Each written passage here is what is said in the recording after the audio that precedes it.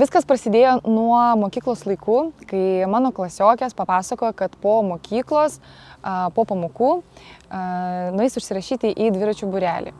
Aš prisijungiau prie jų, nes visada svajojau apie dviratį. Ir aš įsivaizdavau, kad tai yra dviračių burelis, kur tau duoda dviratį, duoda šalmą ir tu gali tiesiog važinėtis parke ar miške. Ir e, iš tikrųjų pasilikau tame dviračių burelėje dešimčiai metų, nes tai pasirodo buvo dviračių sporto mokykla. Ir e, nuo to viskas ir prasidėjo, prasidėjo mano dviračių sporto karjera.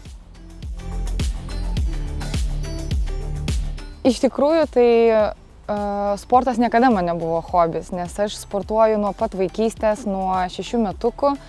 Ir sportas tai visada buvo mano gyvenimo dalis. Bet kad sportas tai yra uh, mano pašaukimas, aš supratau, kai mus tiesiog pradėjo vežti į varžybas ir kai aš pradėjau laimėti tas varžybas, aš supratau, kad turiu potencialą ir tas azartas jisai man buvo labai artimas ir supratau, kad sportas yra mano gyvenimas ir tas laimėjimas jisai mane labai veždavo.